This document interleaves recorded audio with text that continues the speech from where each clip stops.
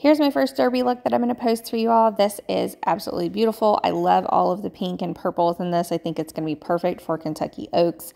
I'm going to pair this, of course, with some heels. I'm going to put them with the crystal heels that tie up going up my leg.